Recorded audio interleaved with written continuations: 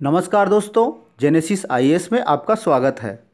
देखिए दोस्तों, अभी हाल में ही, कल ही, कल परसों ही यूपीएससी की तरफ़ से एक प्रपोज़ल आया है डीओपीटी को, यानी गवर्नमेंट को, जिसमें ये कहा गया है कि यूपीएससी में मात्र कैंडिडेट के द्वारा फॉर्म अप्लाई करने को ही एक प्रयास माना जाए।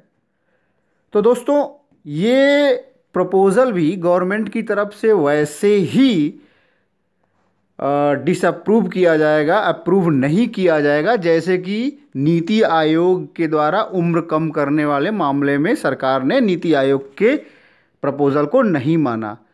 क्योंकि मात्र फार्म भरने से ही प्रयास की गिनती करना अपने आप में एक हास्यास्पद कदम है। ये बेहद आश्चर्यजनक विषय है कि कैसे किस व्यक्ति ने या किन लोगों ने किस संगठन ने इस तरह का प्रपोज़ल डीओपीटी यानी गवर्नमेंट को भेजा है। गवर्नमेंट द्वारा इसको मानना यानी डीओपीटी द्वारा इसको मानना बिल्कुल ही संभव नहीं लग रहा है। एक डेमोक्रेटिक सिस्टम में तो बिल्कुल संभव नहीं लग रहा है। और ये कहीं से भी, किसी भी तरीके से यह एक लॉजिकल बात नहीं लगती है कि कोई व्यक्ति या कोई कैंडिडेट सिर्फ़ एप्लीकेशन फॉर्म डाल दे तो उसको एक प्रयास के रूप में माना जाए। ये बिल्कुल भी इलॉजिकल बात है।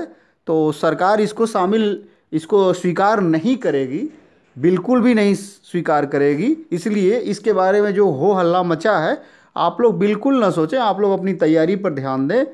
कहीं ऐसा कुछ नहीं होने वाला है। इस तरह के मूर्खतापूर्ण प्रपोज़ल टाइम टू टाइम आते रहते हैं और ये चलता रहता है। इसमें कुछ भी नहीं होगा। आप लोग अपनी तैयारी पर ध्यान दें।